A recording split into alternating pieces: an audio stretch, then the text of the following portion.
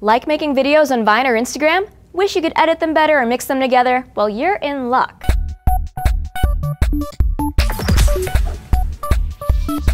Mixbit is the new social video service by AVOS, created by YouTube co-founders Steve Chen and Chad Hurley.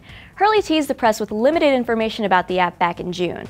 Mixbit is kind of like taking a few of your Vines and your Instavids and combining them together to create a longer video or story. Unlike Vine and Instagram, you don't have to share videos right after something happens. Mixbit focuses on editing and arranging the clips to create videos ranging in length from one second to just over an hour. You can sign into the app by registering an account or by using Twitter, Facebook, or Google+.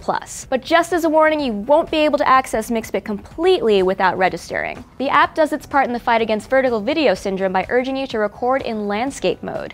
Just like Vine, hold your finger on the screen to start recording video. You can take up to 16 seconds of video at once. Next, you have multiple options. You can shoot more clips to tack onto your project or import a clip or photo from your camera roll. Combine up to 256 video clips to create a story. When you have all the pieces you want, you can reorder the clips by pressing and dragging them. Then save the video as a draft or publish it as is. You can share it on Mixbit and other social media like Twitter or Facebook.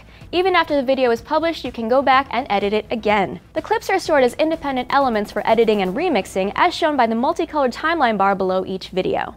Another feature Mixbit is proud of is the ability to remix not just your own clips, but those of other users. Now here's where it got a little bit confusing. The app's navigation doesn't make it easy to figure out how to start a remix project.